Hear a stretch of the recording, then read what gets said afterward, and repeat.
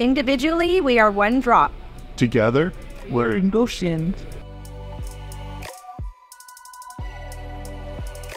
Basically, all we needed to be was the location. They dropped off boxes for us um, on pallets.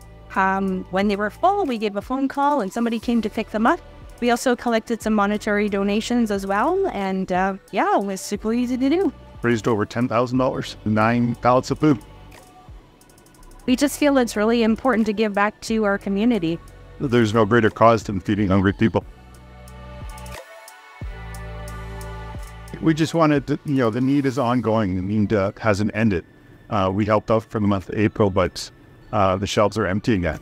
Uh, we need, uh, we'd like to challenge another business to step up and take over because uh, I believe the new theme is stronger together. Um, if we're all together and all do a little piece, we'll keep the RFDA filled up with food and hungry people fed.